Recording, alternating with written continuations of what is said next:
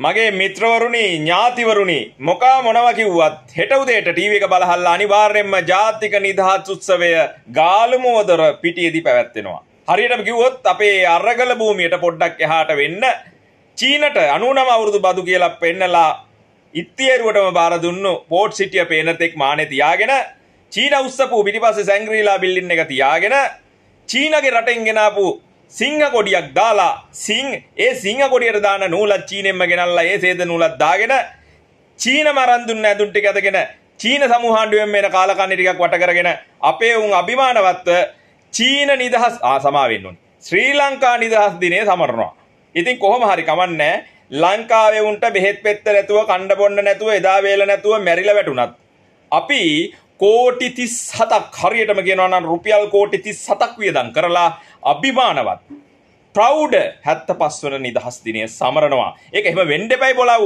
අපි අභිමානවත් ජාතියනේ කුවේනිල් අපේ විජය රජුරු ලංකාවට එනකොට මූද මායිමට වෙලා කපු කැට කැටලු හිටියේ. කොහොම හරි කුවේනි hina වෙනවා ඇති උඩට වෙලා මුන්ට යකෝ මං හදපු පුළුන් ටිකවත් අද නැති වුණා කියලා. ඉස්පිරිතාලේ බබාලා හම්බ වෙන්න යන අම්මලා ඉන්නවා නම් පොඩ්ඩක් ළඟපාත අහලා බලන්න පුළුන් කොච්චර ගේන්න කිව්වද කියලා. අඩුම ගානේ බොලව් හම්බු වෙන පොඩි පැටවුන්ට අම්මගේ බඩෙන් ආවට පස්සේ අර දානවනේ යටින් කට් එකක් ඒ කට් එකට දාන දිය වෙන මැහුම නැතුව අම්මලා හරි වේදනාවෙන් ඉන්නේ දිය වෙන නෙමේ කපන මැහුම දාන්නේ ඒ තරම් අපි නිදහස් జాතියක් බොලව් ඕව පැත්තක තියහල්ලකෝ 1870 ගණන් වල ෆ්ලෙමිං මහත්තයා හොයාගත්තා ලෝකේ තියෙන පළවෙනි ඇන්ටිබයොටික් එක. ඒක තමයි පෙනිසිලින් ඖෂධය. ඒක මේ ලංකාවේ මේ දලරී තලය තුල දැන් නැහනේ. ඒක නැති දහසකුත් මිනිස්සු අද මැරින්න වැටිලානේ.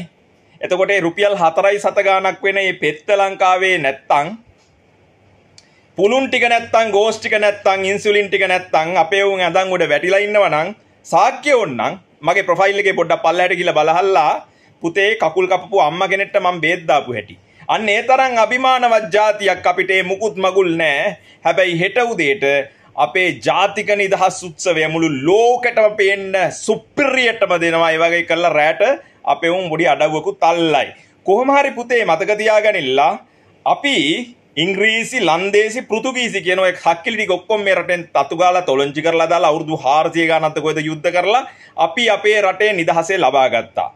කොහොම හරි අද අපි ප්‍රෞಢ නිදහස් ජාතියක් කියලා අපි හිතන් ඉන්නවා නම් චීන්නු මේ රට අල්ලලා ඉවරයි.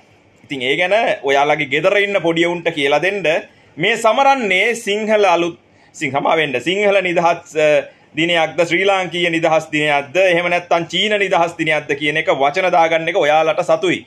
කොහොම හරි අපේ අපේ උන්ට යන්න මවුන්ට් එලිසබෙත් හෝටල් ඉස්පිරිතාල නෑනේ. අපිට